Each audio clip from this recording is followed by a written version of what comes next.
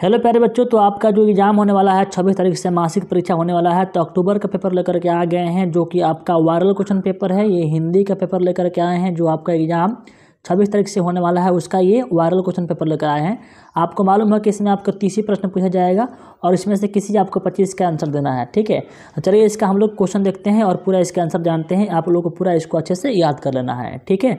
चलिए देखते हैं। देखिए, प्यारे बच्चे, पहला क्वेश्चन क्या है? फ़र्स्ट क्वेश्चन बोल रहा है कि अंबेडकर ने भारत की बेरोजगारी का प्रमुख एवं प्रत्यक्ष कारण किसे माना है? तो इसका आंसर आपका हो जाएगा जाति प्रथा, इसको आपको याद रखना है। ठीक है? भारत में अंबेडकर ने भारत की बेरोजगारी का प्रमुख कारण किसे माना है? जाति प्रथा को माना है। चलिए नेक्स्ट सवाल देखते हैं। सेकेंड नंबर क्या बोल रहा है? सब समाज की आवश्यकता क्या है, बाबू? बोल रहा है कि सब समाज की आवश्यकता क्या है? तो आपको याद रखना है, बाबू, कि इसका आंसर होगा आपका सर्व विभाजन ऑप्शन नंबर ए इसका बिल्कुल करेक्ट आंसर होगा। ठीक है? नेक्स्ट सवाल देखिए, बोल रहा है कि हूँ आर सुधराज किसकी रचना है? बोल रहा है क्वेश्चन तीन नंबर कि हूँ आर सुधराज किसकी रचना है? तो आपको याद रखना है बाबू इसका आंसर किसका हो जाएगा? तो आपका होगा भीमराव अंबेडकर का ऑप्शन नंबर कौन होगा? इसका सी बिल्कुल करेक्ट आंसर होगा, ठीक है? क्वेश्चन नंबर फोर बोल रहा है कि बीस के दांत कहानी का प्रमुख पात्र कौन है? आपको बताना है कि बीस के दांत कहानी का प्रमुख पात्र कौन है? तो इसका जो आंसर होगा बाबू, आपको पढ़े हुए किताब कौन है? तो खोखा है, जो कि ऑप्शन नंबर सी में दिया है। पांचवा प्रश्न बोल रहा है कि झोपड़ी और महल की लड़ाई में अक्सर कौन जीतते हैं? झोपड़ी और महल की लड़ाई में अक्सर कौन जीतते हैं? आपको बताना है। तो इसका आंसर आपका हो जाएगा यहाँ पर महल वाले ऑप्शन नंबर ए, इसका करेक्ट आंसर हो जाएगा। छठवा प्रश्न बोल रहा है बाबू कि सच्चे भारत का बसता है बाबू? ठीक है।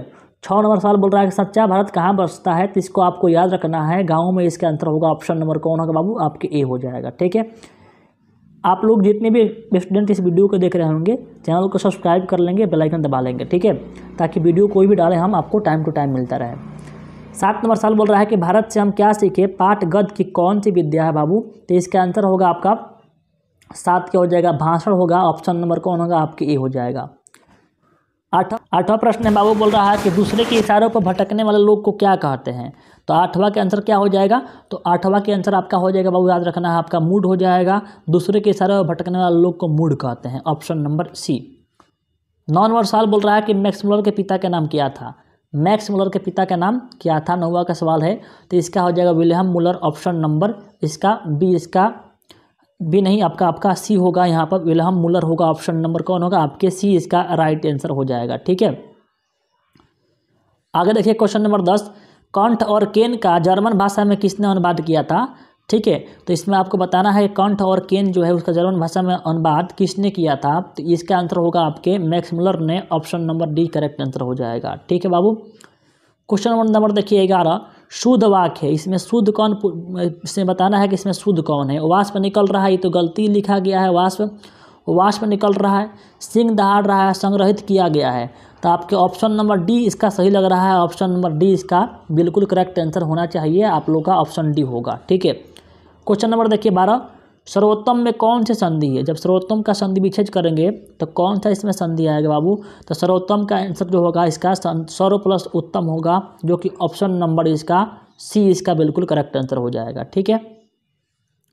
क्वेश्चन नंबर थर्टीन गुस्से पीने मुहावरे का अर्थ क्या होता है? तो गुस्सा पीना मुहावरे का अर्थ बाबू होता है आपका क्रोध दबाना, यानी क्रोध से क्रोध को दबाना ऑप्शन नंबर बी हो जाएगा, ठीक है?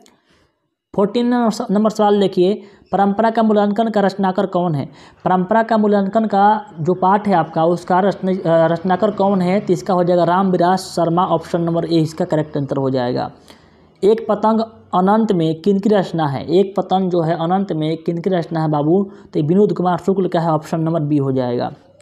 अशोक वाजपेयी का जन्म कहाँ हुआ था? तो आपको याद रखना है कि अशोक वाजपेयी का जो जन्म हुआ था वो उन्नीस सौ इकतालीस में हुआ था और सोलह जनवरी का हुआ था। ऑप्शन नंबर बी इसका राइट आंसर हो जाएगा।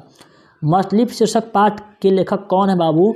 तो आपको याद रखना है कि इस पाठ का जो लेखक है, वो आपका विनोद कुमार शुक्ल हो, होगा। ऑप्शन नंबर सी आपको याद रखना है कि आपके गाँव के एक लड़का है विनोद, जो कि बहुत मछली खाता है। और इससे आपको याद रखना है कि मछली कहानी का लेखक कौन है आपके? विनोद है। अंगूठा दिखाने का मुहावरे मुहावरे का अर्थ क्या होता है? यानी अंगूठा दिखाना मतलब समय पर धोखा दे देना ऑप्शन नंबर कौन होगा? आपके ए हो जाएगा। गुप्त का विलोम क्या होगा। गुप्त होना मतलब छिपता हुआ, इसका विलोम क्या हो जाएगा, प्रकट होना यानी दिखाना ऑप्शन नंबर का होगा डी हो जाएगा। पर्वत का पर्वतीय शब्द क्या होता है? तो पर्वत का बाबू शब्द जो होता है, यहाँ पर देखो तिरदस इधर दिया आपका सेल होता है, जो कि ऑप्शन नंबर सी में दिया ऑप्शन नंबर सी हो जाएगा। लंबोदर में कौन समास है? जिस लंबा है उदर तो इसका देखिए, कौन समास हो जाएगा? तो आपका बहुब्रीही हो जाएगा ऑप्शन नंबर सी। लड़का आया था, लड़का आया था कौन काल है? तो लड़का आया लड़का आया है लिखा है। है मतलब कि लड़का आया है मतलब ये कौन काल है? ये तो वर्तमान काल होगा, है ना? लड़का आया है तो कौन होगा इसका? नहीं, लड़का आया है नहीं, लड़का आया था है बाबू। या है तो लास्ट में है ना? बोला कि लड़का आया था, कौन काल है? बोल रहा है तो यहाँ था लगा है तो ऑप्शन नंबर कौन होगा? बी होगा, भूतकाल। आम का प्रवाची, बोल रहा है कि आम का प्रवाची शब्द का होगा बाबू? तेईस नंबर सवाल का। तो आम का जो प्रवाची होगा, का होगा? आपका आम्र हो जाएगा ऑप्शन नंबर डी। चौबीस, देखिए, धनहीन में कौन समास है? धनहीन में कौन समास है बाबू? तो आपका तत्पुरुष समास है, ऑप्शन नंबर कौन होगा? ए हो जाएगा। माता पिता कौन समास है? तो ये का होगा आपका तो द्वंद समास हो जाएँगे आपके, पच्चीस से कौन हो जाएगा? ऑप्शन नंबर डी हो जाएगा। अनुराग में कौन उपसर्ग है बाबू? तो अनुराग में कैसा उपसर्ग है? तो उपसर्ग जो आगे लगता है तो अनु है आपके ऑप्शन नंबर कौन होगा आपके? ए हो जाएगा। सत्ताईस देखिए, गुरु नानक कौन थे? तो सिखों के कौन थे? तो सिखों के ये जो थे, या सिखों के एक थे आपके, प्रथम गुरु थे गुरु नानक, ठीक है? और दसवें गुरु कौन थे? तो गुरु गोविंद से याद रखिएगा आप लोग, ठीक है? देखिए क्वेश्चन नंबर देखिए, अट्ठाईस। बोल क्या रहा है कि जपूजी किसकी रचना है? जपूजी जो है, किन की रचना है? तो जपूजी जो है आपका गुरु नानक की रचना है ऑप्शन नंबर कौन होगा? सी हो जाएगा। देखिए, उनतीस नंबर, नाखून क्यों बढ़ते हैं? हिंदी की कौन सी विद्या है? तो आपको याद रखना है आपका कि यहाँ उनतीस का आंसर कौन होगा? आपके ऑप्शन नंबर ललित निबंध होगा ऑप्शन नंबर ए हो जाएगा। तीस नंबर देखिए विरह लीला किसकी रचना है? और तीस का आंसर कौन होगा? आपका ऑप्शन नंबर सी घानंद होगा ऑप्शन नंबर यहाँ पर सी होगा। जितने भी क्वेश्चन